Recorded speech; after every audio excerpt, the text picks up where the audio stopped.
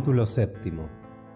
Casi toda la fortuna del señor Bennet consistía en un estado de dos mil libras anuales que, desgraciadamente para sus hijas, estaba vinculado, a falta de herederos varones, a favor de un pariente lejano, y la de su madre, aunque considerable para su clase, con dificultad podía suplir la falta de la de aquel, su padre había sido procurador en Meriton y le había dejado cuatro mil libras. Tenía Elia una hermana casada con el señor Phillips, el cual, habiendo sido dependiente del padre, le había sucedido en el cargo, y un hermano, avecindado en Londres, a respetable altura en el comercio. El lugar de Longbourn distaba solo una milla de Meriton, distancia conveniente para las muchachas, las cuales iban de ordinario al último punto tres o cuatro veces a la semana a cumplimentar a su tía y a casa de una modista que estaba justamente en el camino. Catalina y Lidia, las dos más jóvenes de la familia, eran en especial dadas a esas ocupaciones. Sus espíritus estaban más ociosos que los de sus hermanas, y, cuando no se les deparaba nada mejor, se imponía para las mismas un paseo a Meriton a fin de entretener las horas de la mañana y procurarse conversación para la tarde.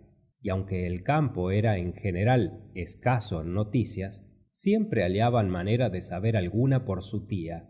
En la actualidad ambas estaban con buena provisión de noticias y de dicha, por la llegada de un regimiento de la milicia a la vecindad, el cual iba a permanecer por allí todo el invierno, siendo Meriton el cuartel general. Las visitas a la señora de Phillips eran, pues, ahora de lo más interesantes. Todos los días aumentaban sus conocimientos de los nombres y parentela de los oficiales. No fueron mucho tiempo desconocidas de ellos sus viviendas, y al fin comenzaron a conocerlos a ellos mismos. El señor Phillips los invitó a todos, y eso procuró a sus sobrinas una suerte de felicidad que antes no conocían. No podían hablar sino de oficiales, y la pingüe fortuna del señor Bingley no valía a sus ojos nada en comparación con los uniformes de un abanderado. Una mañana, tras de escuchar sus entusiasmos acerca de esto, observó fríamente el señor Bennet. De cuanto puedo colegir de vuestro modo de hablar, debéis ser ambas las más necias muchachas de la comarca. Hace tiempo que lo sospechaba, pero ahora me convenzo de que es así. Catalina quedó desconcertada con eso y no contestó.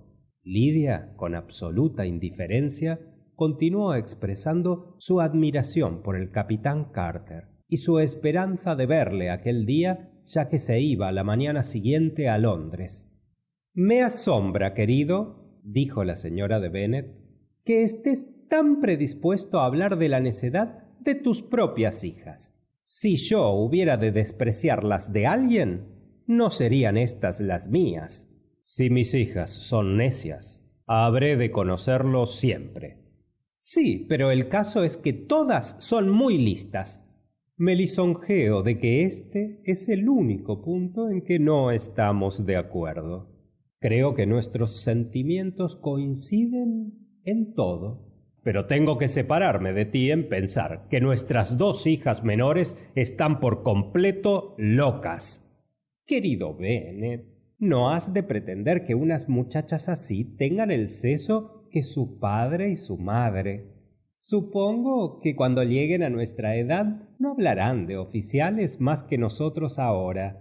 Yo me acuerdo de los tiempos en que me gustaba mucho un traje rojo, y en verdad que aún me gusta para mis adentros. Y si un coronel joven, con cinco o seis mil libras anuales, pretendiese a una de mis hijas, no se la habría de negar. Y tengo para mí que el coronel Forster resultaba muy bien con su uniforme en casa de sir Guillermo. Mamá, exclamó Lidia, mi tía dice que el coronel Forster y el capitán Carter no van a casa de la señorita de Watson tan a menudo como la primera vez que vinieron. Ahora los ve con frecuencia en la librería de Clark. La señora de Bennet no pudo contestar por la llegada de un lacayo con una carta para Juana. Venía de Netherfield y el criado aguardaba contestación. Los ojos de la señora de Bennet brillaron de alegría y estuvo silenciosa mientras su hija leyó. Bien, Juana, ¿de quién es? ¿Qué dice? Vamos, Juana, apresúrate, dínoslo. Date prisa, amor mío.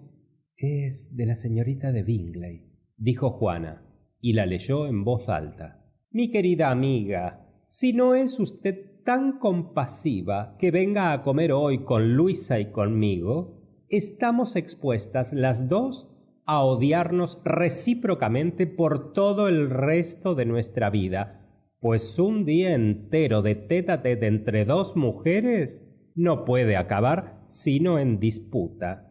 Venga usted lo antes que pueda tras de recibir esta.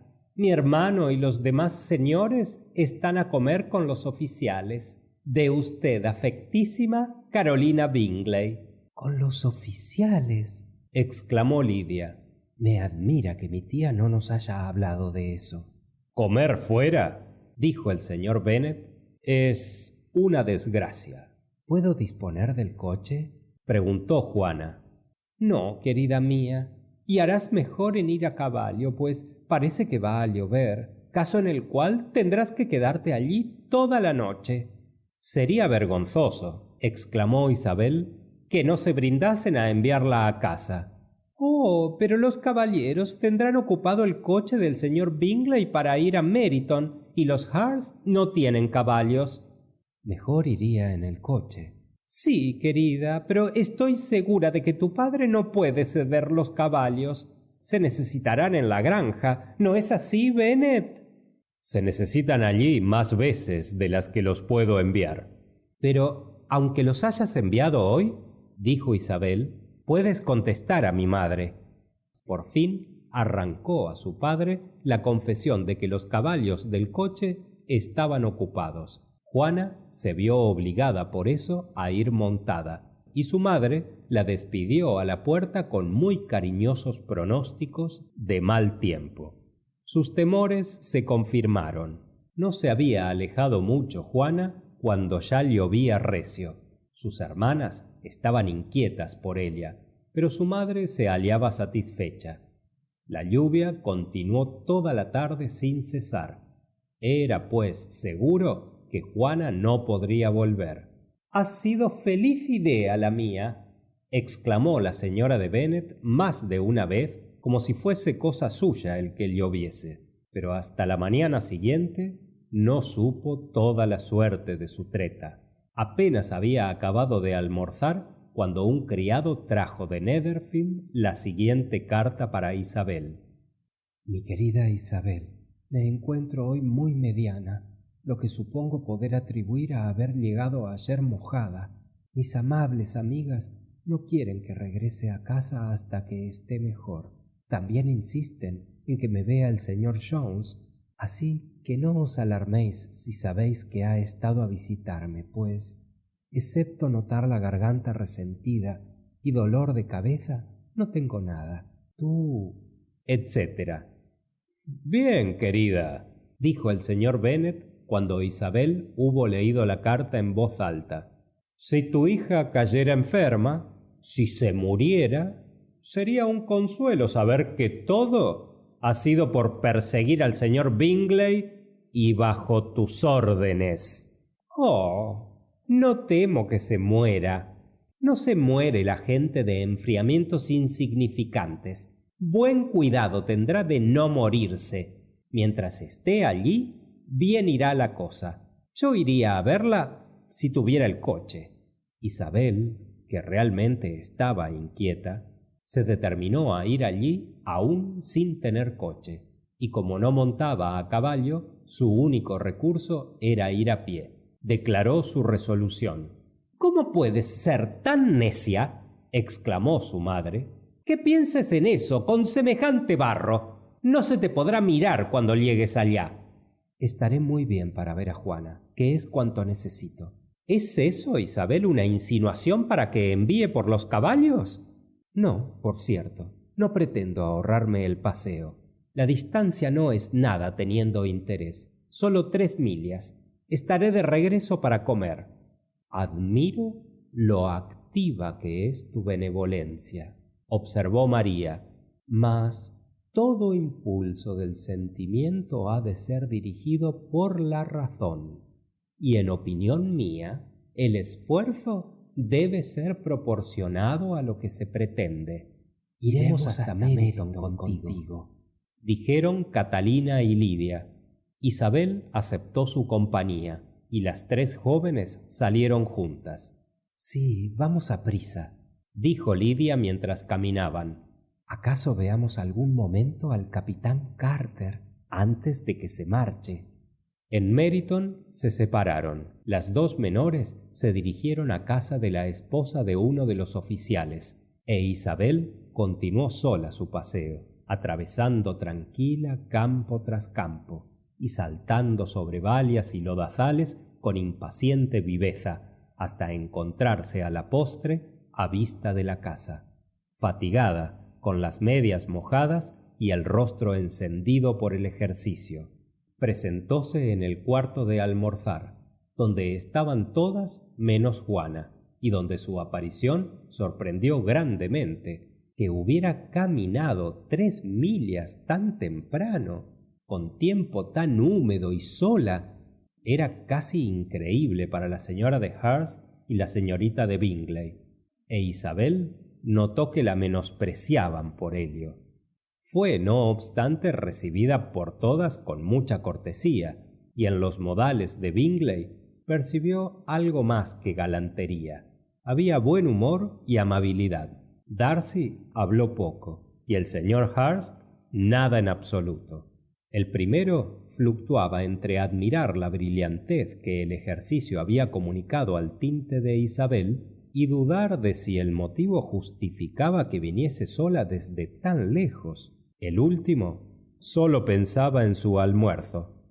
Sus preguntas acerca de su hermana no fueron contestadas muy favorablemente. Juana había dormido mal, y aunque levantada, tenía bastante fiebre y no se encontraba suficientemente bien para salir de su habitación. Isabel se alegró de que se la condujese al punto a su lado, y Juana, que sólo se había contenido por miedo de alarmar o de pecar de inconveniente expresando en su esquela lo que anhelaba esa visita, alegróse también de su entrada.